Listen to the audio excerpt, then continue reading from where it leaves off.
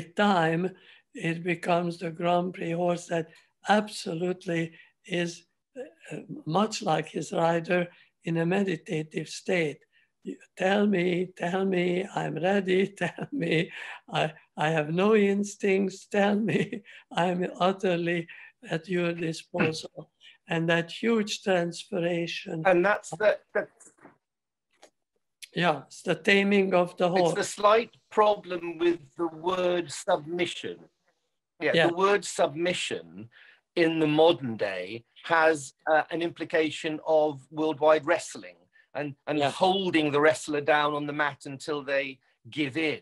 Whereas yeah. the way that you put over submission is a willing acceptance of the rider because the horse is going, which is a very different um, uh, concept to you know the horse will do it you know the horse should do this and that well, why should the horse do that it'll only do it if it's comfortable doing it yeah. rather than you know, blindfolding it. I always think yeah. that draw reins or bad, strong bits are the equivalent of blindfolding the horse, and you push yeah. its nose into its chest and to force, not willingly handing over its energies to the rider.